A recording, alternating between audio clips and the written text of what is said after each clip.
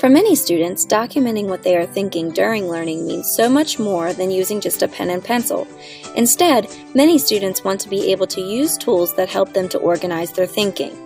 Giving students multiple ways to express what they are thinking during learning gives you a glimpse into what they're working on and where they are headed.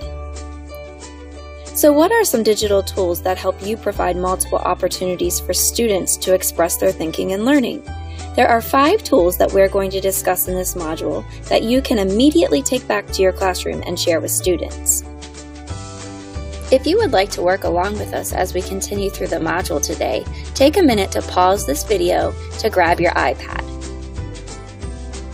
Let's start with Skitch. Skitch opens a world of photo annotation and visual creation through easy-to-use tools. You can insert photos from the camera roll and then add text, arrows, illustrations over top of the photo for visual explanations and sharing. Saves can be saved to the camera roll, emailed, airdropped, etc. This tool would be great for students to create drawings, visual representations, and so much more.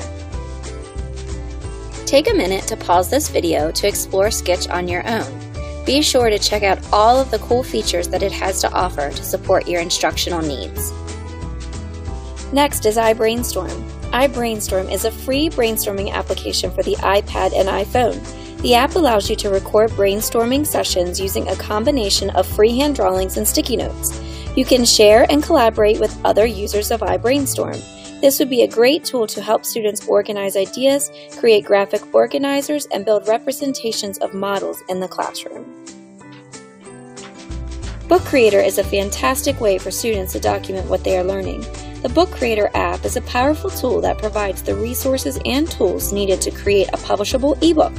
Students can create engaging examples of understanding across disciplines and classes.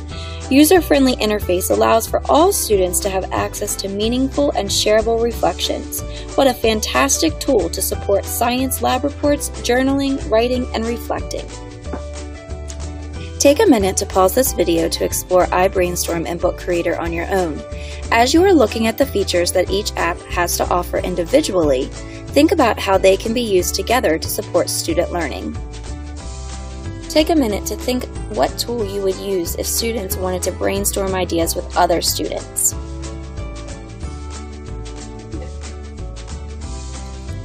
If you selected iBrainstorm, you're correct.